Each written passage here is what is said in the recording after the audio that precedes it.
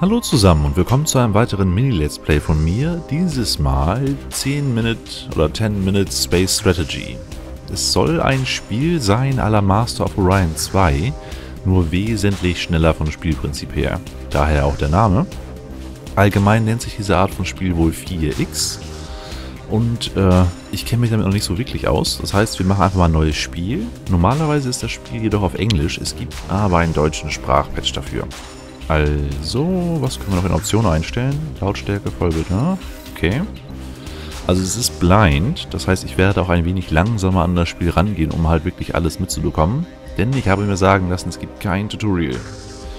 Das könnte schon mal das Ganze ein wenig schwierig gestalten, aber ich bin in dieser Art von Spielen recht bewandert, also hoffe ich mal, dass äh, das alles natürlich irgendwie von der Hand geht und auch das Spielprinzip so designt ist, dass es einigermaßen einsteigerfreundlich ist, beziehungsweise das äh, Interface intuitiv. Also, neues Spiel. Wir haben Spieler 1 und Matzi. Spieler 1 bin wohl ich. Ich bin Gerugon. Wir sind eine komische Kugel. Mensch, ja richtig, das ist ein Computergegner. Gucken wir uns erstmal uns an. Wir sind Farbe Blau. Ist okay. Die Gegnerfarbe mache ich mal auf Rot. So, Standard Militär. Blau freundlich, Rot feindlich. Einstellung. Wow. Das erinnert doch wirklich arg an äh, Master of Orion 2. Da konnte man sich ja auch eine Rasse selber generieren. Ich mache mal alle Häkchen weg. Dann haben wir hier 8 von 8 Punkten. Okay. Also, wir sind Gerugon. Wir sind Rasse Silikonwesen. Hm, ein Physikprofessor hat mal gesagt, dass wenn es Silikonwesen geben würde, bräuchten sie für die Paarung so lange wie das Universum alt ist. Oder so ähnlich. Aber ja, theoretisch soll es möglich sein. Und damit sind jetzt, glaube ich, keine Roboter gemeint, sondern wirklich äh, aus Sand oder Sediment bestehende Wesen. Die haben 50% Bevölkerungswachstum und Megapolis. 2 Max-Bevölkerung, 100% Bevölkerungswachstum. Also das widerspricht absolut dem, was ich gehört habe. Aber na gut, äh, Silikonwesen gibt es also. Was gibt es noch? Ein Cyber-Kollektiv. Das klingt ja schon mal sehr ansprechend. Die sind sehr effektiv und sie sind teuer. ähm, okay. Also sie sind 20% effektiver. Bombenproduktion ist zweimal schneller. Militärtechnik Stufe 3. Äh, heißt das, sie fangen auf Stufe 3 an? Das klingt schon mal sehr praktisch, wenn wir den Gegner ganz schnell überrollen wollen. Und Omnifabrik ist teuer, Ausrufezeichen, baut gleichzeitig Jäger und Bomber. Ha, also es gibt wohl irgendeine Art von Ressourcen und das wird hier teuer sein. Also erst interessant im späteren Spielverlauf. Baut gleichzeitig Jäger und Bomber. Gibt es also nur Jäger und Bomber? Hm, gucken wir mal ganz kurz weiter. Oh, das war's schon. Ah ne, Tentakelwesen. Dazu sage ich jetzt mal nichts. Verwandelt eine zufällige Anzahl Raummonster in Jäger. Das klingt sehr praktisch. Und ein Opfertempel. Opfer 2 Bevölkerung für 200% Bevölkerungswachstum. Sehr skurril. Okay. Insektenwesen. Plus eine Bevölkerung auf einem Planeten plus eine Bevölkerung zum Start bei der Planetenverteidigung werden viermal mehr Jäger abgeschossen. Schwarm. Sehr teuer. Forscht. Forscht, produziert Jäger und fügt 1 maximale Bevölkerung zu. Wird es zerstört. Erhältst du sofort 50 Jäger. Hm. Okay. Amazon. 20% Forschungsgeschwindigkeit. Beginne auf Stufe 2 in allen Technologien. Forschungslabore arbeiten zweimal schneller. Babylon-Projekt. Da steht komischerweise nicht teuer hinter. Jedes Mal, wenn es gebaut wird, erhältst du 100 Forschungspunkte. Also das sind die Intellektuellen.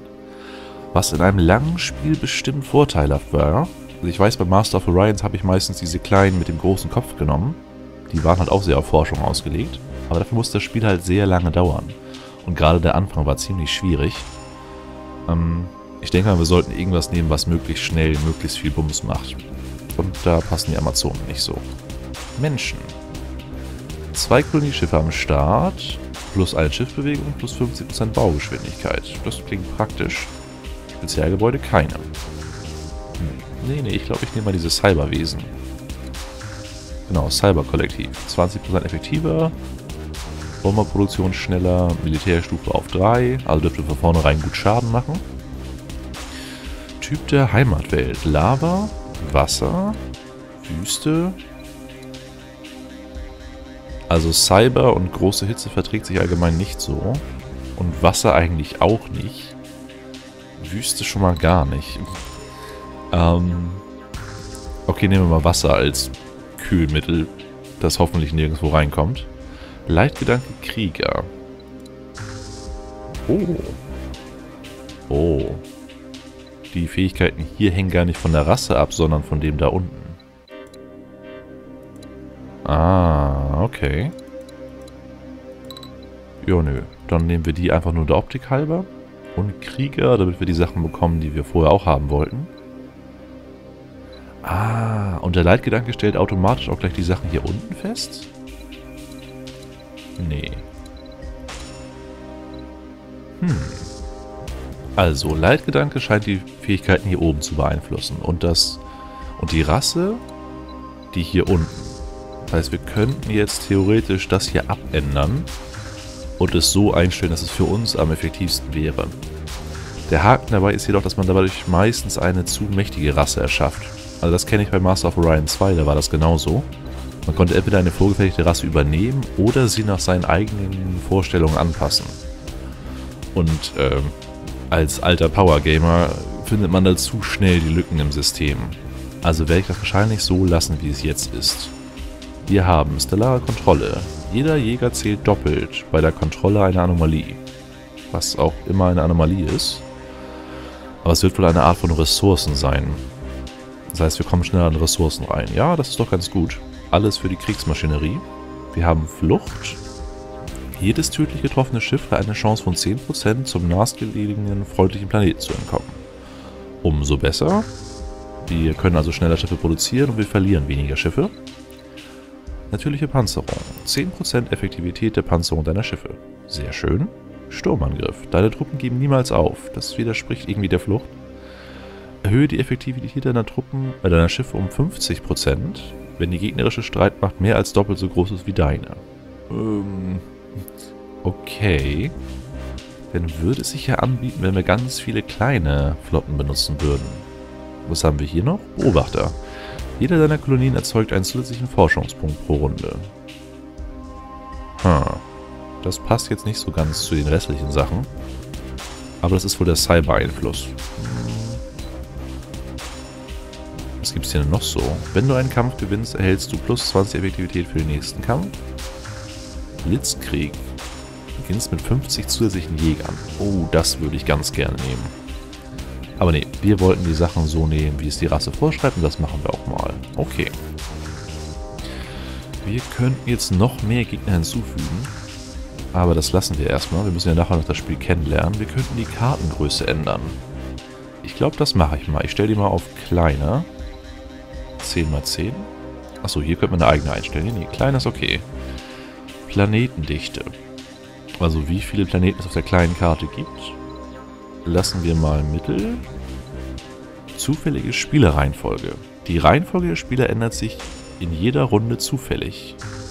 Ähm, das macht bei zwei Spielern, glaube ich, wenig Sinn. Dann könnte einer doppelt dran sein. Also lassen wir das mal so. Zeigetipps des Tages. Oh ja, bitte, ich brauche ganz viele Tipps. Sonst komme ich hier gar nicht klar. Ähm, können wir noch irgendwas einstellen? Karten haben wir, Planetendichte haben wir, wir haben den Gegner eingestellt, auch wenn Matzi jetzt nicht unbedingt so ein furchteinflößender Name ist. Ähm. Hm. Okay, mir fällt auch nichts Besseres ein. Lassen wir es halt bei Matzi. So, Start. So, Tipp des Tages. Durch Antriebstechnologie kannst du weiter fliegen, sowie durch das Versorgungslager. Okay. Die Karte ist echt tierisch klein. Aber deswegen heißt es wahrscheinlich 10 Minuten Spiel und nicht äh, 4 Stunden Spiel.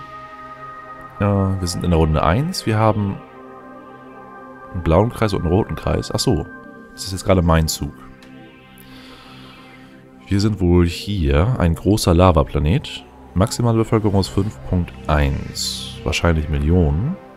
Gebäude hier, Fabrik, Forschungslabor, Stadt. Da unten. Fabrik, Forschungslabor, Stadt. Gebäudeslot. Klicken Sie hier, um ein Gebäude in diesem Slot zu bauen. Ich sehe gar keine Ressourcen. Da stand doch irgendwo was von teuer und sehr teuer und so weiter. Hm. Also Fabrik. Dieses Gebäude produziert Jäger. Erstellt ein Schiff pro Bevölkerungsanzahl. Forschungslabor. Ein Forschungspunkt pro Bevölkerungsanzahl. Stadt. Erhöht das Bevölkerungswachstum und die maximale Bevölkerungsanzahl. Ja. Erforderlich, um Kolonieschiffe zu bauen. Das sollten wir wohl gleich mal in Angriff nehmen. Bomberfabrik. Diese Fabrik baut Bomber. Omni-Fabrik. Baut gleichzeitig Jäger und Bomber. Äh, wir haben jetzt schon Fabrik, Forschungslabor und Stadt. Das heißt, wir könnten Bomberfabrik oder Omni-Fabrik bauen. Die Omni-Fabrik war aber teuer. Ich nehme mal an, dass es dann länger dauert, gebaut zu werden. Weil es gibt ja keine Ressourcen. Hier ist nur Bevölkerung und da sind unsere Schiffe. Also nehme ich einfach mal die Omni-Fabrik. So, das ist immer noch grau. Haben wir irgendwo Schiffe? Was haben wir hier denn noch so? Wir haben eine mittlere Lava-Welt. Und da drauf ist irgend so ein Insektenkäfer. Also wahrscheinlich gegnerische Schiffe. Wir haben ein großes Alien-Wrack. Platziere hier bis zu 50 Jäger, um diese Anomalie komplett zu kontrollieren. Ah, da hatten wir noch eine Sonderfähigkeit vorhin gehabt. Dass wir nur halb so viele Jäger brauchen, um eine, Kolonie zu, äh, um eine Anomalie zu kontrollieren. Also müssten wir hier 25 Jäger hinschicken. Erhöht Forschungsgeschwindigkeit um bis zu 50%. Diese Anomalie verschwindet nach 11 Runden. Oh. Ah, also sind die Anomalien doch keine Form von Ressource, sondern einfach nur ein, temporärer Bonus. Okay. Was haben wir hier? Eine große Gaswolke. Platziere hier bis zu 50 Jäger, um diese Anomalie komplett zu kontrollieren. Erhöht Bevölkerungswachstum. Okay. Und das war's. Wir haben keine Schiffe. Oh, wir haben hier um die Forschung. Äh, Forschung. Umwelt. Erhöht maximale Bevölkerung um 0.1. Das klingt nicht ganz so viel. Aber da steht auch noch, verbessert das Bevölkerungswachstum auf Planeten, die nicht vom Typ deiner Heimatwelt sind, erhöht die maximale Bevölkerung auf allen Welten um 0.1. Ja, ich denke mal, so warte mal, Lavaplanet? Lavaplanet. Das ist doch genau unser Ding. Also das Ding brauchen wir schon mal gar nicht. Also jedenfalls zuerst nicht. Industrie. Erhöht die Produktion von Jägern und Bombern um 10% pro Stufe. Das klingt sehr, sehr praktisch. Da klicke ich erstmal drauf. Antrieb. Erhöht die maximale Entfernung, die sich deine Schiffe von deinen Kolonien entfernen können, um ein Feld pro Stufe. Ha, das ist genau wie Master of Orion in manchen Sachen. Also in Master of Orion war es auch so, dass man verschiedene Stufen von Antrieb erforschen konnte. Und je nachdem konnte man halt nur von den eigenen Kolonien weit weg fliegen. Also man kann nicht immer einfach weiter erforschen. Man muss halt immer weiter Kolonien entdecken äh, oder gründen, um mehr von der Karte aufzudecken, um auch dahin fliegen zu können. Das klingt schon mal praktisch, aber wir haben ja schon einen Planeten hier. Und anscheinend haben wir drei Felder Reichweite. Das heißt, wir könnten dann von hier nach da, nach da und auf den Rest der Karte. Also das brauchen wir gar nicht, den Antrieb. Macht das noch irgendwas? Nö, anscheinend nicht. Na gut. Militär, das haben wir jetzt schon auf 3. Erhöht die Effektivität deiner Jäger, erhöht TP und Schaden um 10% pro Stufe. Ja, das sollten wir auf jeden Fall später steigern. Ja, und Imperium. Pro Stufe kannst du eine weitere Kolonie und 100 weitere Jäger kontrollieren. Äh, da gibt es ein Maximum. Na gut. Äh, du kannst momentan drei Planeten und 300 Jäger kontrollieren. Wir haben gar keine Jäger und ich denke, wir werden in diesem ganzen Spiel nur drei Kolonien kontrollieren, weil es gar nicht so viele Kolonien gibt. Also werden wir das auch nicht steigern. Momentan echt nur Industrie und Militär. Also lassen wir es da drauf. Imperium-Details. Achso, das ist jetzt so eine kleine Übersicht. Unsere ganzen Daten, die wir schon kennen. Forschungsmöglichkeiten. Oh, was ist das denn? Wir hatten doch gerade Forschung. Ähm. Ach so. Okay, also hier gibt es so eine Art Forschungsprojekte. Und man kriegt die Boni von diesen Forschungsprojekten, wenn man diese Sachen hier erfüllt. Also für Biotech 3 bräuchten wir Umwelt auf 6 und Industrie auf 7. Umwelt wollten wir eigentlich fast gar nicht erhöhen, also ist es für uns nicht so interessant. Aber das hier, automatisierte Fabriken 2, bräuchten wir Militär 4, 5 für und Industrie 5.